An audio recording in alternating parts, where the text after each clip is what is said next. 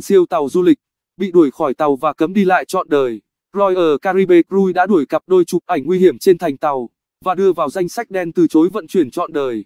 Sự việc xảy ra đầu tuần trước khi tàu du lịch Allure of Texas đi qua biển Caribe. Người phụ nữ này ra ý định muốn ghi lại khoảnh khắc đặc biệt nên đã trèo qua khu vực bảo vệ tàu để selfie. Trong khi đó, người đàn ông đi cùng đã chụp ảnh người phụ nữ rồi vô tình cho nhân viên trên thuyền xem. Ngay sau khi hình ảnh lộ diện, công ty quản lý Royal Caribbean Cruise đã thực thi hình phạt nghiêm khắc nhất. Cặp đôi du khách bị đuổi xuống cảng Famao, Jamaica, điểm dừng đầu tiên trong lộ trình du chuyển của siêu tàu du lịch. Royal Caribbean Cruise tuyên bố từ chối vận chuyển trọn đời hai du khách này.